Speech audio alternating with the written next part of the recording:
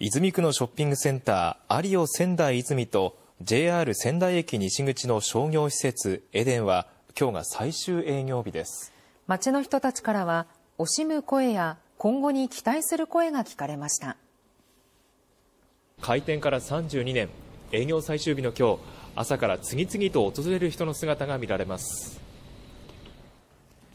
1992年4月に地下鉄南北線泉中央駅の開業に合わせ伊東洋華堂仙台泉店としてオープンしたアリオ仙台泉。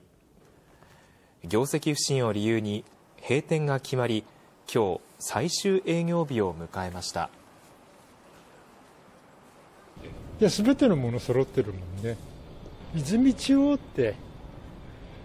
すごい賑やかだったんですけれども寂しくなりますよね。もうあの時期はすっごい忙しかったです。特にクリスマスとか母の日父の日寂しいの一言ですかね。ご飯のとか夕飯の支度は全部ここで買ってたので。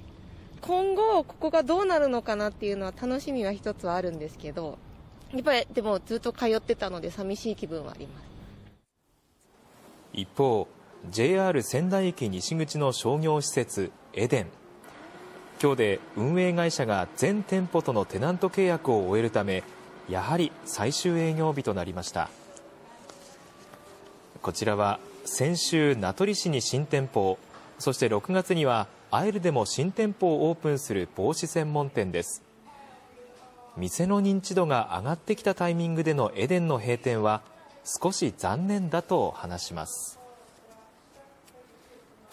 まあ、駅もすごく近いので、まあ、全国各地からお客様がご来店されてました3月でちょうど1年を迎えるっていうところであのお客様からのお店の認知度も上がってきたっていうタイミングだったので、すごくこう残念な気持ちかなっていう。アリオ仙台泉とエデンという2つの商業施設の閉店について専門家は閉店に至る背景の違いを指摘しそれぞれの立地に合わせた再開発に期待を寄せました。アリオとエデンはたまたま時期が重なりましたけれども、まあ、閉店に至る背景とは全く異なっておりまして七十七リサーチコンサルティングの首席エコノミスト田口康友さんによりますとアリオは泉区の人口減少や渋滞などによる車利用の不便さのほか郊外の大型商業施設との競争の激化を背景に運営会社が経営判断として撤退を決めたものです。これに対してエデンの閉店は周辺の旧桜の百貨店も含め仙台の顔として大規模な再開発が進む第一歩となりうる前向きな意味合いがあります。東北のゲートウェイがいつまでも開発が進まないことに対する、まあ、危機感や危惧の声というのは聞かれていますしそれが今回第一歩を踏み出すきっかけの動きが見えたということは非常に期待感としては大きいと。田口さんは今回の閉店による仙台経済へのマイナスな影響は限定的だとした上で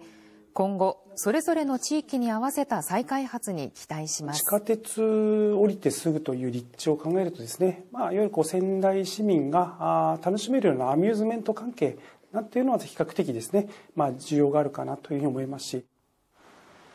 一方エデン跡地の再開発について仙台駅からやや離れた周辺商店街にも開発の恩恵が波及するような取り組みが重要だと指摘しています